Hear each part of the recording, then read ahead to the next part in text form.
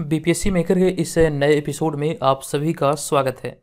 आज के इस वीडियो में 17 और 18 दिसंबर 2022 से संबंधित बिहार करंट अफेयर्स और साथ ही राष्ट्रीय और अंतर्राष्ट्रीय घटनाओं से करंट अफेयर्स के जितने भी प्रश्न बनेंगे, संबंधित सारी जानकारी आपको विस्तार पूर्वक दिया जाएगा। जितने भी छात्र इस श्रृंखला से पहली बार जुड़े हैं, आप सभी छात्रों को बता दूँ, इस श्रृंखला के सारे वीडियो, पीडीएफ, नोट्स आदि आपके बिहार के सभी प्रतियोगी परीक्षाओं के दृष्टिकोण से अति महत्वपूर्ण है।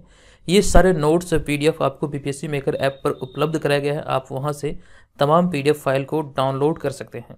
ध्यान रखें, हमारे जितने भी स्टडी मटेरियल और साथ साथ जो हमारा ऑनलाइन टेस्ट सीरीज़ अभी हाल ही में अड़सठवीं बीपीएससी प्रारंभिक परीक्षा के लिए लॉन्च हुआ है, जो आपका एग्ज़ाम प्रस्तावित है बारह फरवरी दो हज़ार तेईस को।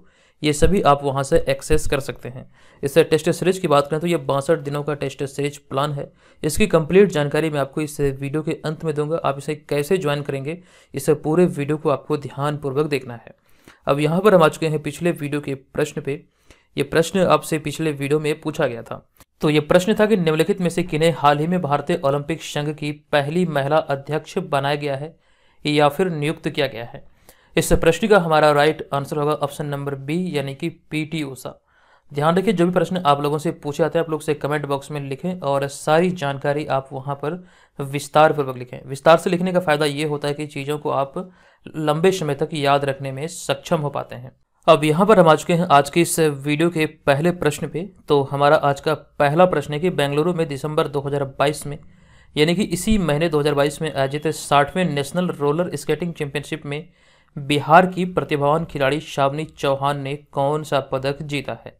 बिहार करंट अफेयर्स के दृष्टिकोण से खास करके खेल जगत से जुड़े हुए जितने भी प्रश्न हैं, एग्ज़ाम में प्रबल रूप से पूछे जाने की संभावना बनती है। तो ऐसे में यहाँ पर हम इस प्रश्न के राइट आंसर की बात करें, सानवी चौहान ने भी हाल ही में स्वर्ण पदक अपने नाम किया है। तो ऐसे में ऑप्शन नंबर सी यहाँ पर इस प्रश्न का राइट आंसर हो जाएगा।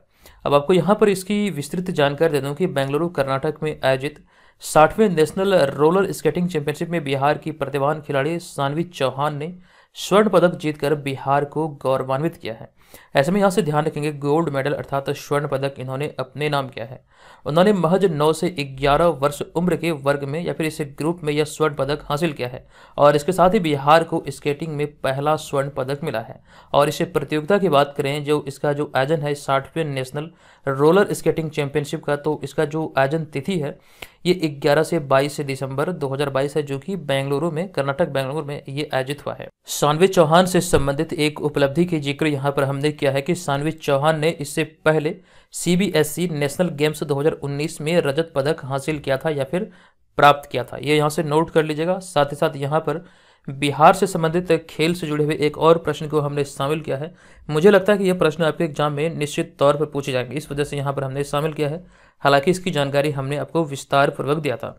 ये पॉइंट यहाँ पर यह है कि न्यूजीलैंड में आयोजित junior commonwealth power lifting championship में बिहार की कीर्ति राज सिंह ने छह गोल्ड मेडल जीते हैं। और यहाँ पर ध्यान रखेंगे कीर्ति राज सिंह बिहार के पटना की रहने वाली है। और इसी चीज़ का ज़िक्र यहाँ पर हमने आगे किया है कि पटना की रहने वाली कीर्ति सिंह या फिर कीर्ति राज सिंह बिहार की पहली बेटी है, जिन्होंने पहली बार में पावर लिफ्टिंग प्रतियोगिता में छह गोल्ड मेडल जीता है। तो इस लिहाज से ये प्रश्न बहुत इंपॉर्टेंट है। हालाँकि जो भी इंपॉर्टेंट प्रश्न होते हैं बिहार राष्ट्रीय अंतर्राष्ट्रीय, तीनों घटना से संबंधित तो वैसे ही प्रश्नों का संग्रह यहाँ पर किया जाता है। अब यहाँ पर हमारा इसी में दूसरा प्रश्न है कि हाल ही में दिसंबर 2022 में उनतीसवीं बिहार राज्य बॉल बैडमिंटन प्रतियोगिता का आयोजन निम्न में से कहाँ किया गया? इंपॉर्टेंट प्रश्न है। इस प्रश्न का हमारा राइट आंसर होगा ऑप्शन नंबर ए यानी कि अभी हाल ही में इसका आयोजन वैशाली में किया गया है। और यहाँ पर आपको इस प्रश्न के बारे में विस्तृत जानकारी दे दूँ। इसमें हमारा पहला पॉइंट है कि उनतीसवीं बिहार राज्य बॉड बॉल बैडमिंटन प्रतियोगिता का जो आयोजन है, ये वैशाली में किया गया। नोट कीजिएगा, ये इसका उनतीसवां संस्करण था, जो कि अभी हाल ही में वैशाली में आयोजित हुआ था। और इस प्रतियोगिता के फाइनल मुकाबले की बात करें तो इस प्रतियोगिता का जो फाइनल मुकाबला है, ये छपरा और वैशाली के बीच खेला गया। इसी चीज़ को यहाँ पर लिखा गया कि इस प्रतियोगिता के फाइनल मुकाबले में छपरा को हराकर वैशाली जिला की महिला टीम चैंपियन बनी है। ये यहाँ से नोट करना है आपको। साथ साथ हमारा अगला पॉइंट यहाँ पर यह है कि विजेता और उप विजेता दोनों टीमों को इसराइल मंसूरी द्वारा ट्रॉफी प्रदान किया गया। अब यहाँ पर सवाल उठता है कि इसराइल मंसूरी कौन है? हालाँकि इसकी कंप्लीट जानकारी हमने आपको दिया था। आप यहाँ पर देखेंगे कि बिहार सरकार के विभाग और मंत्रियों की कुछ जो इम्पोर्टेंट है, वो सूची यहाँ पर हमने शामिल किया है। जैसे कि वर्तमान में बिहार के सूचना और प्रौद्योगिकी मंत्री हैं इसराइल मंसूरी।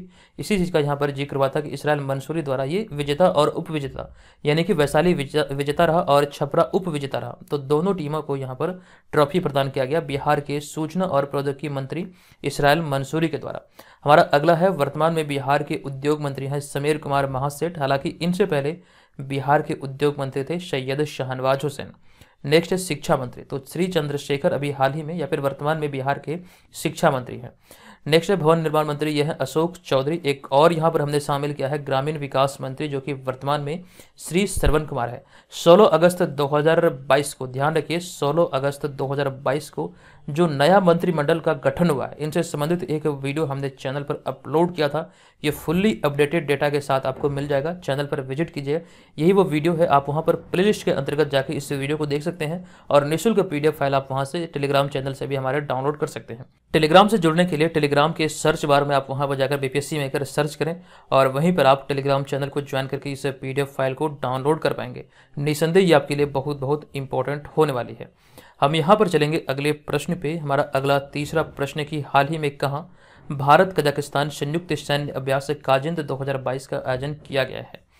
इंपॉर्टेंट प्रश्न है और इसका राइट आंसर होगा हमारा ऑप्शन नंबर बी, यानी कि मेघालय में भी हाल ही में इसका आयोजन किया गया है। हालाँकि इस श्रृंखला के जितने भी वीडियो यहाँ पर आप देख रहे हैं, सभी में बिहार राष्ट्रीय अंतर्राष्ट्रीय तीनों घटनाओं का संग्रह होता है और सभी प्रश्न चुनिंदे होते हैं। इसलिए मैं आपको बार बार बोलता हूँ कि सारे प्रश्नों को पूरे वीडियो को आपको ध्यानपूर्वक देखना है। तभी जाके आपको फ़ायदा होगा, क्योंकि बहुत सारी चीज़ें ऐसी होती है जो एक दूसरे से कनेक्टेड होती हैं। अब यहाँ पर हम इस प्रश्न के एक्सप्लेनेशन की बात करें तो भारत और कजाकिस्तान संयुक्त सैन्य प्रशिक्षण अभ्यास से काजिंद का, काजिंद 2022 का जो संस्करण है, ये छठा संस्करण है। ये हाल ही में मेघालय के उमरोई में आयोजित किया गया है। ये यहाँ से आपको ध्यान रखना है। भारत और कजाकिस्तान के बीच ये जो संयुक्त सैन्य प्रशिक्षण अभ्यास आयोजित होता है, ये इसका छठा संस्करण है, जो कि 2022 में आपको ध्यान रखना है, मेघालय के उमरोई में आयोजित किया गया है। और आयोजन तिथि की बात करें तो ये 15 दिसंबर से इसकी शुरुआत हुई है, जो कि 28 दिसंबर 2022 तक चलेगी। ये इसकी आयोजन तिथि है। और वहीं पे हम बात करें इस अभ्यास की तो यह एक वार्षिक प्रशिक्षण अभ्यास है, जिसे कि 2016 से प्रत्येक वर्ष आयोजित किया जाता है। हमारा यहाँ पर अगला पॉइंट है 2016 में प्रबल दोस्ती के रूप में इसकी शुरुआत हुई थी, जिसे कि 2018 में इस अभ्यास का नाम में परिवर्तन करते हुए इसे नाम दिया गया था अभ्यास काजिंद। ये भी यहाँ से ध्यान रखिएगा एग्ज़ाम में पूछे जा सकते हैं कि अभ्यास काजिंद इसकी शुरुआत कब हुई थी, ये किन दो देशों के मध्य आयोजित होता है इससे इसका पहले पुराना नाम क्या है, ये सारी बातें एग्ज़ाम में पूछे जा सकते हैं। नेक्स्ट यहाँ पर कजाकिस्तान से संबंधित हमने एक एक्स्ट्रा फैक्ट को शामिल किया है कि कजाकिस्तान ने देश की राजधानी अस्ताना को नूर सुल्तान में बदला था, या फिर जो कजाकिस्तान की जो राजधानी अस्ताना है, इसे नूर सुल्तान के नाम में बदला था कुछ समय पहले। लेकिन हाल ही में, कुछ समय पहले, आपको ध्यान रखना है, इसका नाम पुनः नूर सुल्तान से अस्ताना किया गया है। ये बहुत ज़्यादा खबरों में भी रहा था, मैंने इसकी कंप्लीट जानकारी आपको इसी श्रृंखला के अंतर्गत दिया था। नोट कीजिएगा अस्ताना से नूर सुल्तान इसका नाम किया गया, लेकिन फिर से नूर सुल्तान से इसका नाम अस्ताना कर दिया गया। चलिए, अब यहाँ पर हम चलेंगे अगले चौथे प्रश्न पे। यह प्रश्न की दिसंबर 2022 में जारी हुरून ग्लोबल 500 सूची में भारत की रैंक निम्न में से क्या है? तो देखिए, ऐसे प्रश्न जो होते हैं, ये बहुत बहुत इंपॉर्टेंट होते हैं। इस प्रश्न का जो हमारा राइट आंसर होगा, ये हो जाएगा हमारा ऑप्शन नंबर सी यानी कि भारत इसमें पाँचवें स्थान पर है 2022 में, इस सूची में। और यहाँ पर हम इसके एक्सप्लेनेशन की बात करें तो आपको ध्यान रखना है कि हाल ही में हुरून रिसर्च इंस्टीट्यूट ने विश्व की 500 सबसे मूल्यवान गैर राज्य नियंत्रित कंपनियों के आंकलन की सूची जारी की है और इस सूची में भारत नौवें स्थान से अब पाँचवें स्थान पर पहुँच गया है। पिछला जो रिपोर्ट आया था, उस आधार पर हम बात करें तो भारत नौवें स्थान पर था, लेकिन नवीनतम रिपोर्ट जो दिसंबर 2022 में जारी हुई है हुरून रिसर्च इंस्टीट्यूट के द्वारा तो इसके आधार पर भारत अब पाँचवें स्थान पर है। और इस सूची में भारत की कंपनियों की बात करें तो इस सूची में, इस रिपोर्ट के आधार पर भारत की 20 कंपनियाँ शामिल हैं, जो कि भारत की सबसे मूल्यवान जो 20 कंपनी है, इसे शामिल किया गया है। और इस सूची में भारत की दृष्टिकोण, देखें, पहले स्थान पर कौन है? तो आपको ध्यान रखना है कि 202 बिलियन अमेरिकी डॉलर के साथ रिलायंस इंडस्ट्रीज़ पहले स्थान पर है। जबकि हम बात करें एक बिलियन अमेरिकी डॉलर के साथ टाटा कंसल्टेंसी सर्विसेज़ दूसरे स्थान पर है। तो इसीलिए यहाँ पर लिखा गया है कि रिलायंस इंडस्ट्रीज़ और टाटा कंसल्टेंसी सर्विसेज़ क्रमशः भारत की पहली व दूसरी मूल्यवान कंपनी है। ये यहाँ से ध्यान रखेगा। ओवरऑल हम बात करें रिलायंस इंडस्ट्रीज़ की तो पूरे विश्व की जो 500 सबसे मूल्यवान कंपनियों की सूची जारी हुई है इसमें रिलायंस इंडस्ट्रीज़ को चौंतीसवां स्थान मिला है, यानी कि विश्व में जो इसका स्थान है, चौंतीसवां है। भारत के दृष्टिकोण से देखें तो ये पहले स्थान पर है। इसमें हमारा अगला पॉइंट है कि इस सूची में 260 कंपनियों के साथ अमेरिका शीर्ष और दूसरे स्थान पर चीन 35 कंपनियाँ हैं, यानी कि चीन की 35 कंपनियाँ हैं। यानी कि आपको यहाँ से ध्यान रखना है, पहले स्थान पर इस सूची के अनुसार अमेरिका है, जिसकी 260 कंपनियाँ इस सूची में शामिल है। वहीं पर दूसरे स्थान पर चीन है, जिसकी 35 कंपनियाँ, यानी कि इस सूची में सबसे मूल्यवान जो कंपनी है, इसकी सूची में शामिल है। जबकि भारत के दृष्टिकोण से भी हमने बात किया कि 20 कंपनियों के साथ भारत इस सूची में पाँचवें स्थान पर है। और हम बात करें पहले स्थान पर कौन सी कंपनी है? तो अमेरिका स्थित एप्पल हुरून ग्लोबल 500 सूची में शीर्ष रैंक वाली कंपनी है। आपको ध्यान रखना एप्पल जो है, ये पहले स्थान पर है। उसके बाद आपको ध्यान रखना माइक्रोसॉफ्ट, अल्फ़ाबेट, अमेजन और टेस्ला आदि इसमें मतलब क्रमशः इसके बाद है। अल्फ़ाबेट की बात करें तो गूगल की जो पेरेंट कंपनी है, ये अल्फ़ाबेट है। वर्तमान समय की बात करें, गूगल की जितनी भी सेवाएँ उपलब्ध है, ये सभी की जो पेरेंट कंपनी है, ये अल्फ़ाबेट ही है। यानी कि मूल कंपनी अल्फ़ाबेट है। अब यहाँ पर हमारा अगला होगा पांचवा प्रश्न। ये प्रश्न के निम्नलिखित में से कहा हाल ही में इंडिया ग्लोबल फोरम आयोजित किया गया है? इस प्रश्न का हमारा राइट आंसर होगा अभी हाल ही में। इसका आयोजन किया गया है दुबई में। दुबई संयुक्त अरब अमीरात में। संयुक्त अरब अमीरात का ही एक शहर है दुबई। यहीं पर इसका आयोजन हुआ है। इस प्रश्न के हम एक्सप्लेनेशन की बात करें तो इसमें हमारा पहला पॉइंट है कि हाल ही में 13 से 15 दिसंबर 2022 को दुबई में इंडिया ग्लोबल फोरम का आयोजन किया गया। और आपको ध्यान रखना कि जिसमें भारत की तरफ़ से केंद्रीय इलेक्ट्रॉनिक्स और सूचना प्रौद्योगिकी राज्य मंत्री राजीव चंद्रशेखर ने भाग लिया था। नोट कीजिएगा, इसका आयोजन तिथि क्या है और ये कहाँ पर आयोजित हुआ था और साथ साथ इसका थीम क्या है। तो थीम की बात करें कि इसकी विषय की बात करें तो भारतीय तकनीक और नवाचार प्रतिभा का वैश्वीकरण, ये इसका 2022 का निर्धारित थीम है। हम बात करें यहाँ पर अगले पॉइंट में दुबई से संबंधित एक्स्ट्रा फैक्ट की। तो सितंबर 2022 में होम्योपैथी के गौरव के लिए विश्व स्वास्थ्य शिखर सम्मेलन का पहला संस्करण दुबई में आयोजित किया गया था। होम्योपैथी के गौरव के लिए विश्व स्वास्थ्य शिखर सम्मेलन का पहला संस्करण दुबई संयुक्त अरब अमीरात में ही आयोजित किया गया था। और दुबई संयुक्त अरब अमीरात के बारे में एक इंपॉर्टेंट जानकारी यहाँ पर यह है कि विश्व की सबसे ऊँची इमारत, बुर्ज खलीफा दुबई संयुक्त अरब अमीरात में ही स्थित है और इसकी जो ऊंचाई है ये 828 मीटर है और इसमें कुल मिलाकर 160 फ्लोर हैं। ये भी यहाँ से ध्यान रखना आपको। नेक्स्ट हमारा छठा प्रश्न है कि निम्नलिखित में से किस शहर में जी ट्वेंटी के विकास कार्य समूह की पहली बैठक आयोजित की गई है? तो भी हाल ही में जी ट्वेंटी के विकास कार्य समूह की पहली बैठक मुंबई में आयोजित हुआ। ऐसे में ध्यान रखिए ऑप्शन नंबर बी इस प्रश्न का राइट आंसर हो जाएगा। आपको जानकारी दे दूँ कि एक तेरह दिसंबर 2022 से जी ट्वेंटी के विकास कार्य समूह की पहली बैठक मुंबई में आयोजित की गई थी। नोट कर लीजिएगा, तेरह दिसंबर को इसकी शुरुआत हुई है और इसका आयोजन स्थल है मुंबई, महाराष्ट्र। हमारा अगला पॉइंट है कि यह तीन दिवसीय विकास कार्य समूह की बैठक थी। आपको ध्यान रखना ये तीन दिवसीय कर सकते हैं प्रकार के आयोजन था।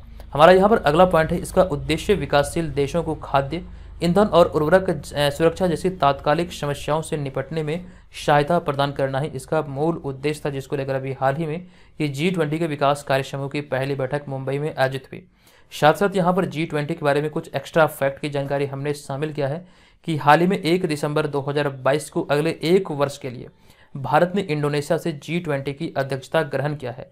साथ साथ आपको ये भी ध्यान रखना है, राजस्थान के उदयपुर में अभी हाल ही में चार से सात दिसंबर 2022 तक भारत की पहली जी ट्वेंटी शेरपा बैठक आयोजित की गई है। ये भी इंपॉर्टेंट है। नोट कीजिएगा। अभी हाल ही में जो जी ट्वेंटी का शिखर सम्मेलन आयोजित हुआ था, ये इंडोनेशिया के बाली में आयोजित हुआ था। और यहीं पर इंडोनेशिया के जो राष्ट्रपति हैं, इनके द्वारा भारत को अगले एक वर्ष के लिए, यानी कि पूरे के पूरे 2023 के लिए, ये जी ट्वेंटी की अध्यक्षता सौंपी गई है। एग्ज़ाम में प्रश्न बन सकते हैं कि भारत ने जो जी ट्वेंटी की अध्यक्षता ग्रहण की है, ये किस देश से सदस्यता ग्रहण की या फिर अध्यक्षता ग्रहण की है? नोट कीजिएगा इंडोनेशिया से। अब यहाँ पर हमारा अगला होगा सातवां प्रश्न। ये प्रश्न भी इंपॉर्टेंट है, हालाँकि इसकी जानकारी हमने पहले भी आपको दिया था। ये प्रश्न कि किस देश ने भविष्य की पीढ़ियों के लिए सिगरेट पर प्रतिबंध लगाने वाला कानून पारित किया था? जब ये चर्चा में थी, जब ये खबरों में थी, तब हमने इसकी जानकारी आपको दिया था। लेकिन अब ये कानून पारित हो गया है तो ऐसे में ध्यान रखिएगा। आई थिंक आपको इसका आंसर पता होगा। इसका आंसर है न्यूजीलैंड। यानी कि ऑप्शन नंबर ए यहाँ पर इस प्रश्न का राइट आंसर हो जाएगा। अब यहाँ पर आपको इसकी कंप्लीट जानकारी ध्यान में रखना है, जैसे कि न्यूजीलैंड ने युवाओं को जीवन में कभी भी सिगरेट सिगरेट खरीदने पर प्रतिबंध लगाने की योजना बनाई है।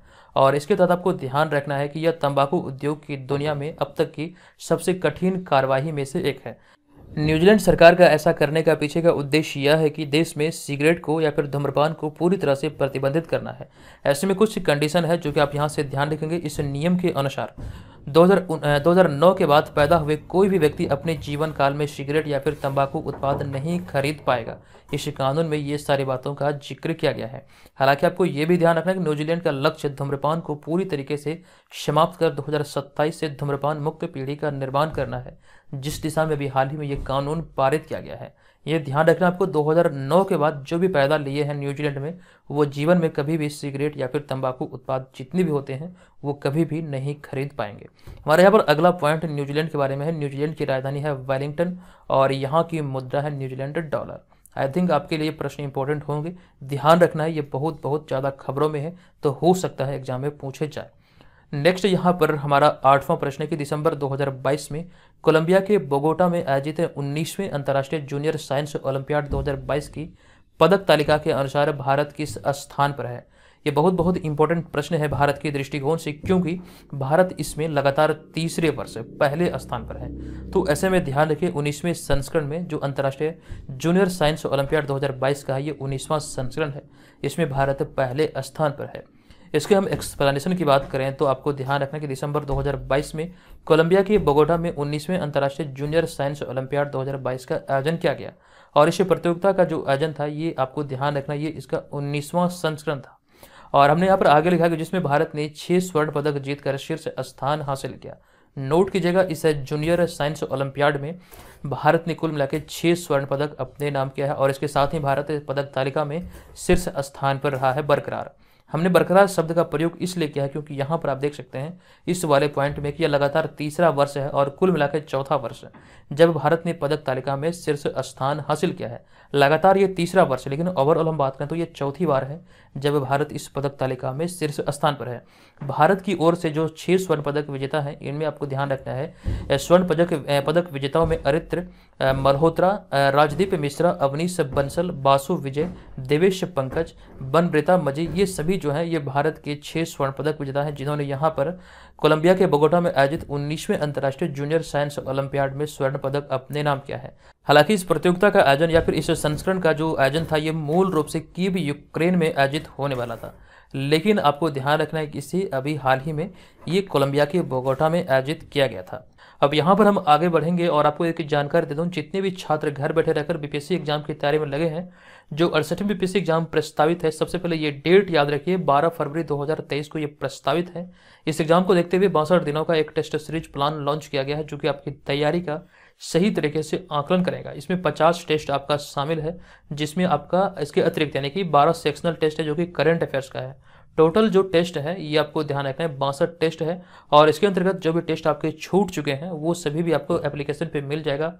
प्ले स्टोर से बीपीएससी में अगर ऐप डाउनलोड कीजिए, वहाँ पर ये तमाम टेस्ट सीरीज़ को आप ज्वाइन कर पाएँगे, जो कि ऑनलाइन माध्यम है, जो आपकी तैयारी का सही तरीके से आकलन करेगा।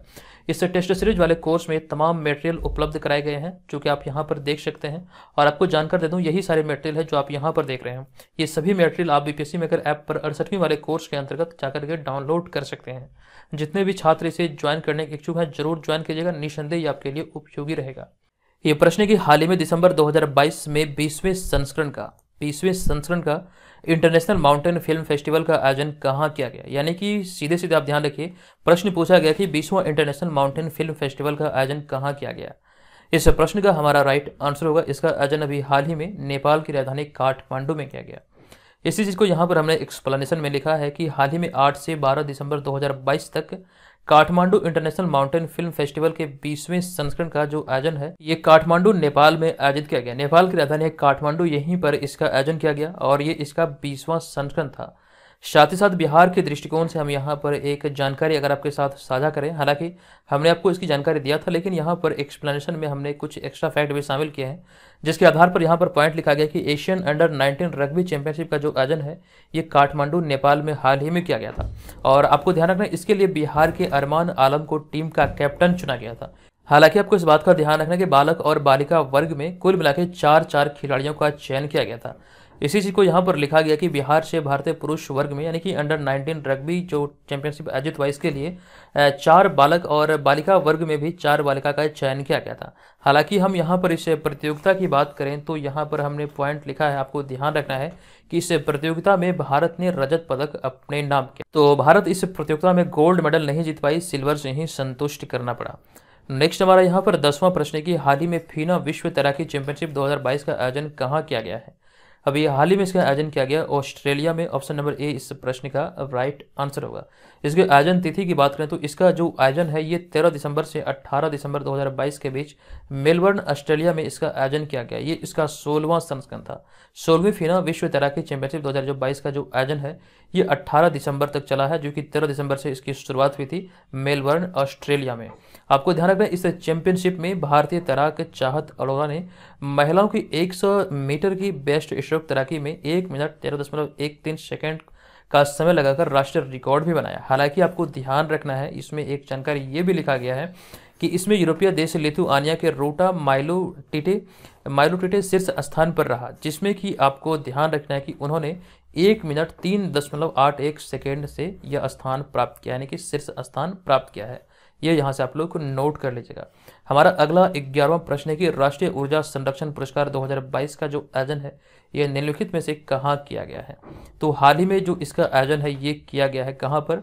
तो किया गया है, नई दिल्ली में। ऑप्शन नंबर बी यहाँ पर इस प्रश्न का राइट आंसर होगा। आपको ध्यान रखना है कि राष्ट्रीय ऊर्जा संरक्षण पुरस्कार 2022 का जो आयोजन है, ये राजधानी दिल्ली के विज्ञान भवन परिसर में इसका आयोजन किया गया। और इसमें राज्य नामित एजेंसी में प्रथम पुरस्कार Karnataka renewable energy development limited को प्राप्त हुआ। एग्ज़ाम में ये प्रश्न पूछे जा सकते हैं। हालाँकि आपको यहाँ पर इस बात का भी ध्यान रखना है कि भारतीय रेलवे ने या फिर रेल विभाग ने कुल मिलाकर नौ पुरस्कार जीते हैं। इनमें से आपको यहाँ पर पहला और दूसरा का जानकारी हमने आपके साथ साझा किया है। तो रेलवे विभाग को जो नौ पुरस्कार मिला है, इनमें पहले स्थान पर काचीगुड़ा रेलवे स्टेशन जो कि तेलंगाना का है और वहीं पे गुंतकल रेलवे स्टेशन जो कि आंध्र प्रदेश का हालाँकि बिहार का, आपको ध्यान रखना बिहार का एक भी रेलवे स्टेशन इसमें शामिल नहीं था। तो इसलिए यहाँ पर हमने इस चीज़ का और ज़िक्र नहीं किया। हमारा अगला बारहवां प्रश्न है कि निम्नलिखित में से किस देश ने हाल ही में महिला नेशनल हॉकी टूर्नामेंट का आयोजन किया गया है? किस देश में हाल ही में महिला नेशनल हॉकी टूर्नामेंट का आयोजन किया गया? राइट आंसर होगा ऑप्शन नंबर डी, यानी कि स्पेन। इसी चीज़ को यहाँ पर लिखा गया कि महिला नेशनल हॉकी टूर्नामेंट का जो आयोजन है, ये 11 दिसंबर 2022 को स्पेन के वारनशिया में आयोजित किया गया है। और आपको यहाँ पर यह भी ध्यान रखना है जो आयोजन तिथि है, ये 11 से 17 दिसंबर 2022 है और इसमें कुल आठ टीमें भाग ली है। आपको ध्यान रखना इससे संबंधित जो भी प्रश्न निकलकर सामने आएँगे, वो संबंधित जानकारी हम आपको विस्तार पूर्वक अगले वीडियो में ज़रूर देंगे। फ़िलहाल आज के इस वीडियो में इतना ही, चलते हैं हम यहाँ पर आज के इस वीडियो के प्रश्न की ओर। लेकिन उससे पहले जो जानकारी हमने आपको टेस्ट सीरीज़ से संबंधित दिया है, आप चाहें तो इसे ज़रूर ज्वाइन कर लीजिएगा। अब यहाँ पर माच चुके हैं आज के इस वीडियो के प्रश्न पे यह प्रश्न की निम्नलिखित में से किस देश ने हाल ही में महिलाओं के हस्ताक्षर वाला पहला बैंक नोट छापा है? संबंधित सारी जानकारी हमने आपको दिया था, बताइए इस प्रश्न का राइट आंसर क्या होगा। तो दोस्तों, आज के इस वीडियो में इतना ही। मिलेंगे नेक्स्ट वीडियो में तो तक धन्यवाद। जय हिंद।